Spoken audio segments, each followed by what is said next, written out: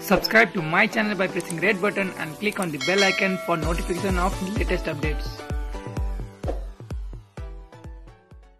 सरकारले प्रतिबन्धित नेत्र विक्रम चन्द विप्लव नेतृत्वको समूहसँग बुधबार नै दुई चरणको वार्ता गरेको छ सरकार र प्रतिबन्धित नेत्र विक्रम चन्द विप्लव नेतृत्वको नेकपा बीच एकै दिन दुई चरणको वार्ता भएको हो।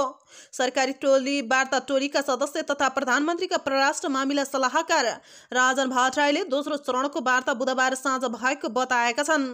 यसअघि बुधबार बिहान पहिलो चरणको वार्ता भएको थियो। बुधबार अपराह्न बालुवाटारमा सम्पन्न दोस्रो चरणको वार्ता विषय केन्द्रित भएको र दुवै पक्ष समान धारणा नजिक पुगेको वार्ता टोलीका सदस्य भट्टराईले जानकारी दिएका छन्।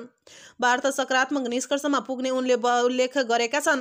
सरकारी टोलीले वार्ता सकारात्मक रूपमा अघि बढेको बताए पनि विप्लव नेकपाको वार्ता टोलीले भने कुनै प्रतिक्रिया दिएको छैन। वार्ताका क्रममा गृह मन्त्री रामबहादुर थापाले विप्लव नेकपालाई तत्काल हतियार बुझाउन राज्यलाई आग्रह गरेका थिए।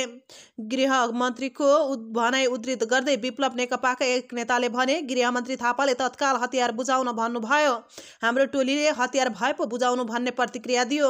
वार्ता निरन्तर जारी रहने बताइएको छ। सरकारी वार्ता टोलीमा गृहमन्त्री रामबहादुर थापा बादल र प्रधानमन्त्रीका सल्लाहकार डाक्टर राजन भट्टराई रहेका छन्। भने विप्लव समूहबाट खड्गबहादुर विश्वकर्मा र उदय चलाउने छन् दुवै पक्षमा मङ्गलबार वार्ता टोली गठन गरिएको थियो।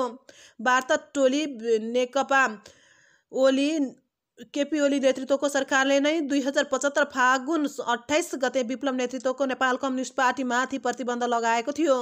प्रतिबन्धपछि सो समूहले दुई हजार बढी नेता कार्यकर्ता पक्राउ गरिसकेको छ।